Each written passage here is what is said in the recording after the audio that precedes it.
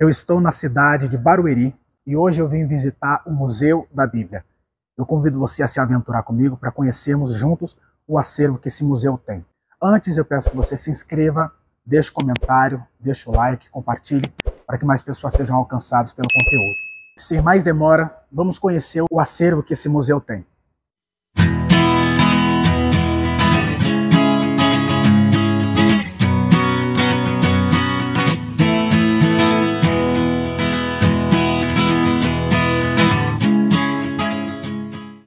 Logo na entrada do museu, a gente se depara com esta seção totalmente dedicada ao livro de Salmos.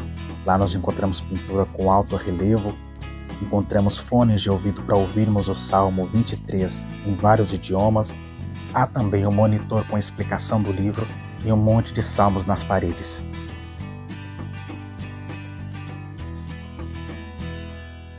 Nesta seção nós encontramos a Bíblia em braille. É uma forma de facilitar para quem não tem a visão.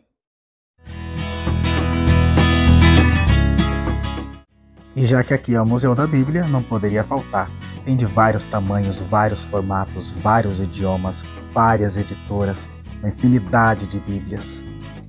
Outra curiosidade que nós encontramos aqui no Museu da Bíblia é esta página aqui, da versão King James.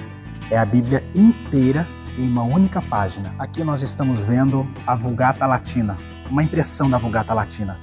Esta Bíblia foi a tradução elaborada por Jerônimo, que passou 20 anos estudando hebraico para poder montar essa tradução fiel aos originais. Ela se chama Vulgata Latina porque até o, terceiro, quarto, quinto século não havia ainda algumas traduções que fossem satisfatórias.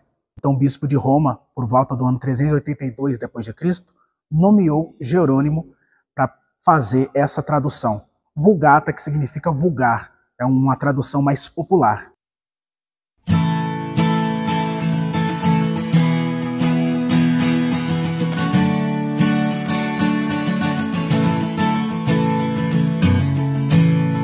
Olha que curioso, aqui nessa parte nós temos um fone de ouvido que é possível você ouvir a, a passagem de 1 João capítulo 1, no versículo 1 ao 4, em 24 línguas indígenas diferentes. Ao contrário do que muita gente pensa, no Brasil é falado aproximadamente 180 línguas entre idioma e dialetos. Aqui você consegue ouvir, apertando esses botões aqui, configurando, ouvir essa passagem nesses dialetos.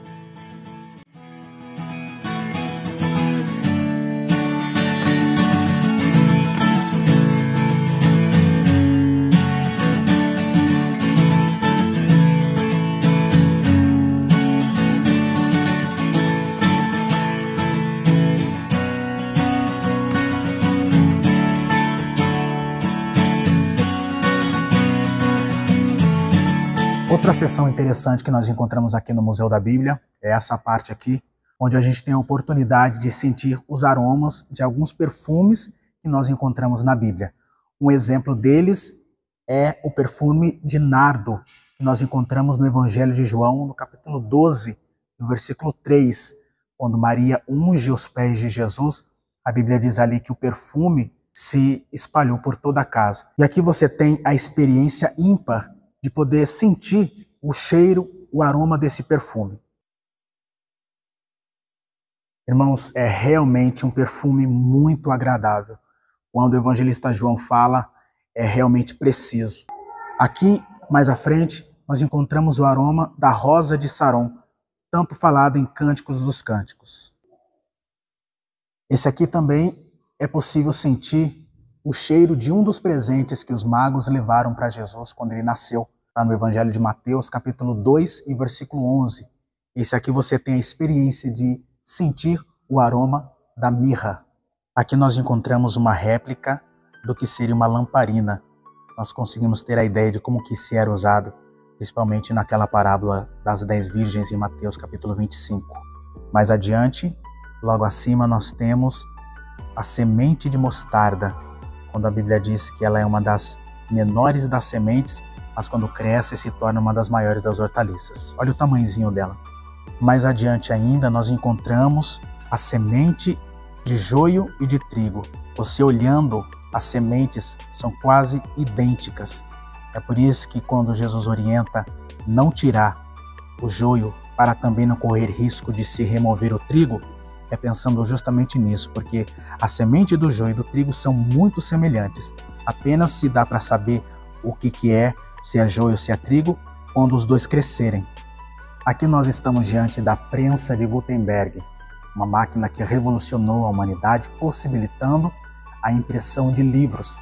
E o primeiro livro a ser impresso foi justamente a Bíblia. Esse invento de Gutenberg foi um conjunto de tecnologias que ele aperfeiçoou acabou chegando como resultado final na prensa de Gutenberg. Outra curiosidade que nós temos aqui é o alfabeto hebraico e o alfabeto grego. Se os irmãos bem se lembram, no livro de Apocalipse, capítulo 22, e o versículo 13, Jesus Cristo diz que ele é o alfa e o ômega, o princípio e o fim.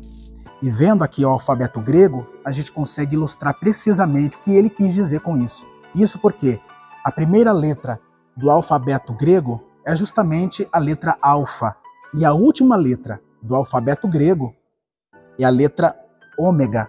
Com isso, Jesus estava querendo dizer que ele é o princípio, o começo de todas as coisas, como ele é também o fim, o final de tudo.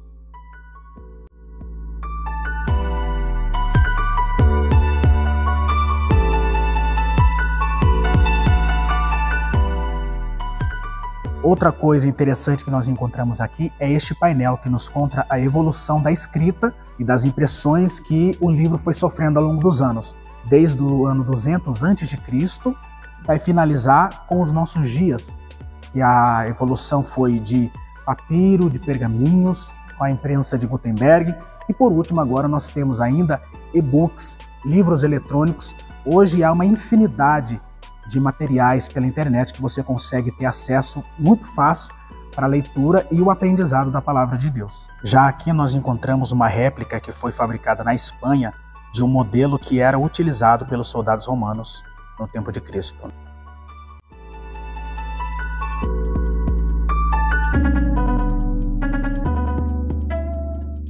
O Museu da Bíblia é uma parceria entre a Sociedade Bíblica do Brasil e a Prefeitura de Barueri. A entrada é gratuita, com estacionamento também gratuito. O endereço fica na Avenida Sebastião Davino dos Reis, número 672, na Vila Porto, na cidade de Barueri. Quero ainda agradecer ao pastor Leandro Marques, porque foi a vinda dele aqui que me inspirou a também vir. Agradeço ao irmão Marcelo, que me passou os contatos, me orientou certinho. Eu convido a todos que tenham interesse de participar, de conhecer o acervo que tem aqui no Museu da Bíblia. Você é mais do que bem-vindo.